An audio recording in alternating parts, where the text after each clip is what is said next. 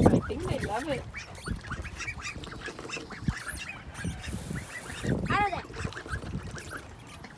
wow. a. So proud.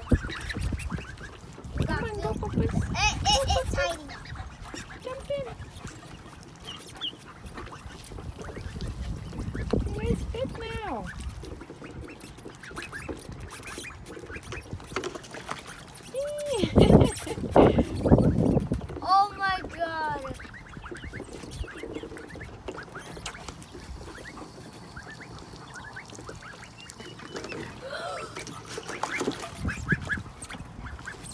That's right. Never eat those baby cheeks.